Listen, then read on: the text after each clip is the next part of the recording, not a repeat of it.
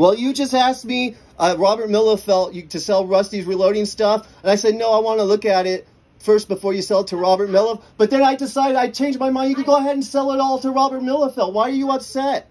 Go ahead and sell all Rusty's reloading stuff if you need money.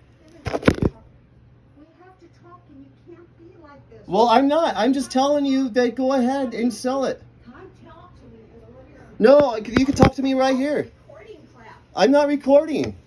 I'm looking for my tobacco. No, I'm. No, I'm right here because I'm rolling a cigarette. I'm rolling. Dude, this Susan's setting me up. That's entrapment techniques there. Well, I just said you have my permission to sell all Rusty's reloading stuff. Why do you need me to talk out? We could just stand here and talk to me.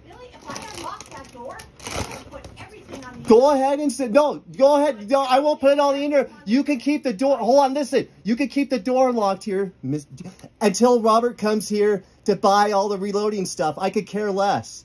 Go ahead. I got all the video footage I wanted out there. Go ahead and sell it all. Sell it all. Get your, eh, be happy with the money you're going to get from Robert. No, I don't. Go ahead. No, go ahead and sell it all. No, go ahead and sell. See, you can't make him happy.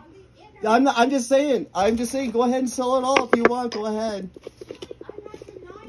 I'm not. I didn't say anything about you denying me. Just I'm just telling you. I changed my mind. Go ahead and sell all of that reloading stuff. You went out of your way to ask me. Go ahead. I be happy with the money you get.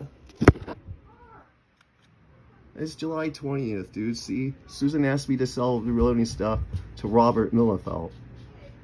Now I'm telling them go ahead and they're still just like, that's all entrapment techniques to get me fouled up with the courts. Camille Beccarelli.